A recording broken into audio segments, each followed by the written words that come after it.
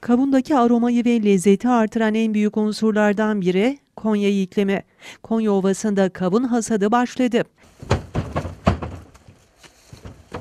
Konya'nın en büyük gelir kaynaklarından biri olan ve bu yıl coğrafi işaretle işaretlenerek tescillenen Çumra kavununun üretim ağı her geçen yıl artıyor. Nisan ayı başında ekimi başlayan kavunda hasat Ağustos ayı sonlarına kadar kademeli olarak devam ediyor. Çiftçiler ise ekiminden hasat zamanına kadar olan sürede kavuna gözü gibi bakıyor.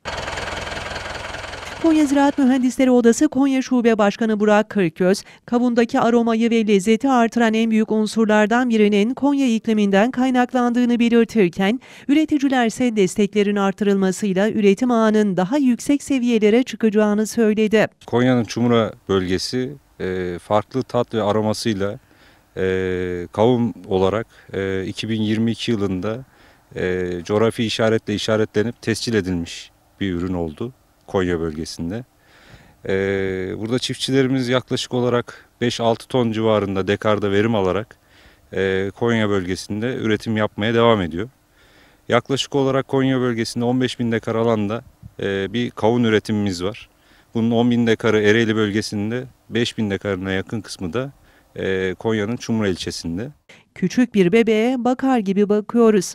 Çumra bölgesinde kavun üretiminin son yıllarda artmaya başladığını belirten çiftçi Ramazan Akyol, kavun üretiminin zahmetli ve maliyetli olduğunu vurguladı. maliyet hele bu sene geçen seneye bakış sene sene maliyetler de artıyor.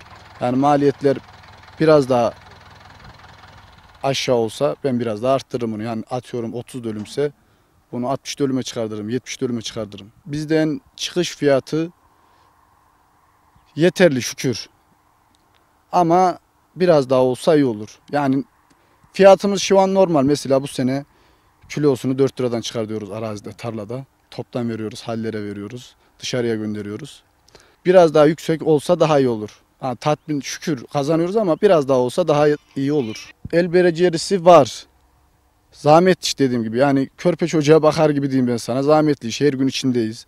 Hastalığına, şununa, bununla her şeyine ilgileniyoruz. İlacını zamanında, gübresini zamanında veriyoruz, suyunu zamanında veriyoruz.